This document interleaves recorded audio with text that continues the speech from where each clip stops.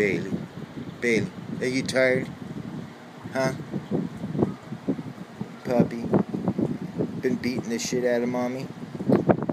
Yeah, huh? She's exhausted. Good thing I have the swamp cooler out here, huh?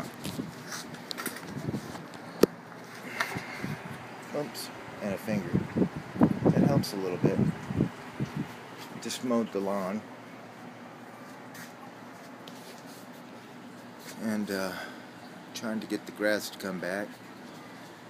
Noki took took out two uh, flaming trumpet bushes over there by the bamboo. She wants more bamboo so uh, she can harvest the bamboo shoots. So this will probably all be bamboo eventually, except the grapefruit tree and the grapevine. But I think that fruit tree is coming out because it's a false orange tree and it is sour. I already got one of those with the lemon tree. It's a combined tree. It puts out really sour oranges. And then we got the fig tree here, and we got so many figs.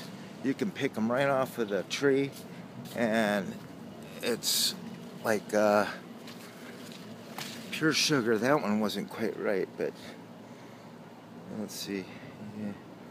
Well, you could see the white sugar coming out. That one's not right. We just harvested it. Well, anyways, I could take a bite out of this one.